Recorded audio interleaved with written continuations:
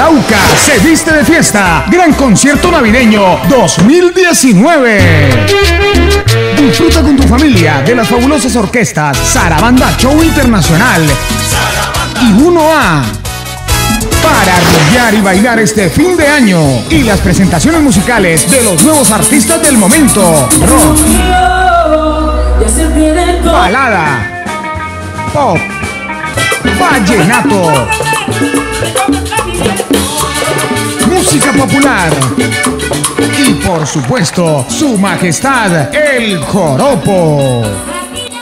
Gran concierto navideño este 20 de diciembre a partir de las 4 de la tarde en la nueva concha acústica Carmentea, ubicada en el Caño Córdoba con Avenida Ciudad de Arauca. Invitan Gobernación de Arauca y la Casa Departamental de la Cultura, humanizando el desarrollo.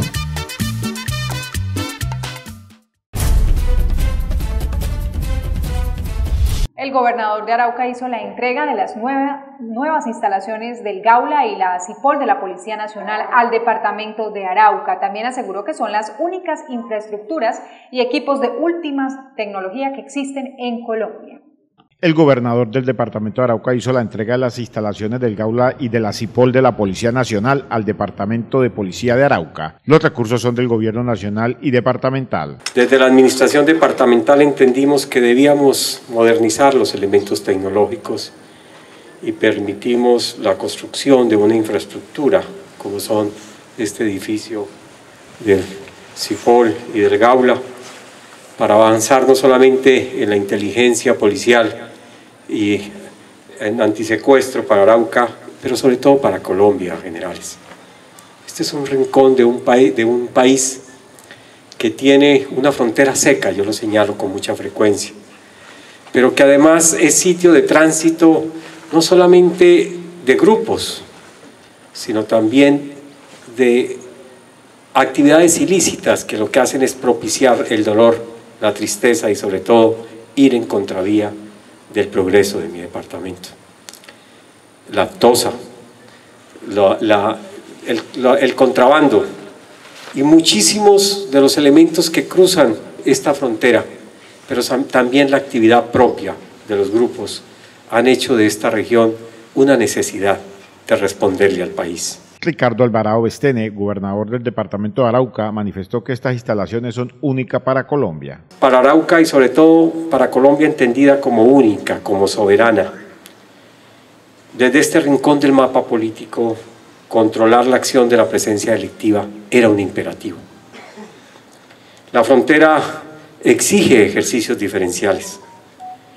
Por eso, mediante un convenio que se hizo con el Ministerio del Interior, y por eso, como decían los antiguos, Lord también a ellos, al Ministerio del Interior, a ese contrato plan, con el cual se pudo avanzar inicialmente en este convenio, que pudimos desarrollar y, y sobre todo ejecutarlo y terminarlo durante esta administración, que no era fácil porque era una obra que demandaba unos esfuerzos tecnológicos y una capacidad. Pero además entendimos que había que, hacerla, inclusive con el capital humano y con, la, con nuestra capacidad, con lo endógeno que somos. Y eso, lógicamente, con apoyo también de unos dineros propios de la gobernación, terminamos para satisfacción nuestra estos dos edificios. El primer mandatario de los araucanos aseguró que esta obra hecha en el departamento de Arauca no se encuentra en ningún departamento de Colombia. Una obra que, a decir de los entendidos, no se encuentra en ninguna parte de Colombia. Déjenme sacar pecho en eso. Y que está a la altura de otros países avanzados y que nos colocan en ese adalid del control y de la inteligencia para poder operar y controlar el territorio. Los araucanos necesitaban esta obra con equipos de últimas tecnología para poder contrarrestar a los grupos al margen de la ley que delinquen en esta región del país. Cuando la policía triunfa, estamos viendo la constitución y la ley imponerse sobre el crimen.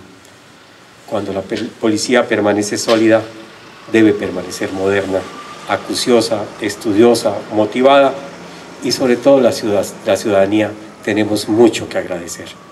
Somos nosotros, señores de la policía, somos señores generales, los araucanos, los que entendiendo la necesidad de responderle no solamente al territorio, como lo decíamos, sino al país, y sobre todo entendiendo que el dolor y estos espacios que a veces se convierten en, en teatros de guerra, la única forma para poder avanzar y poder consolidar el territorio es con inteligencia. Y por eso el ejercicio. Y por eso esta respuesta y por eso a ustedes más bien, déjenme darles las gracias por haber permitido que desde el gobierno departamental humanizando el desarrollo hubiéramos podido colocar este granito de arena para hacer a una Colombia libre como somos los llaneros, libres, porque ese es el propósito que nos conmueve. Al acto de inauguración asistió el comandante de la Policía Regional Quinta y el director nacional del Gaula de la Policía Nacional.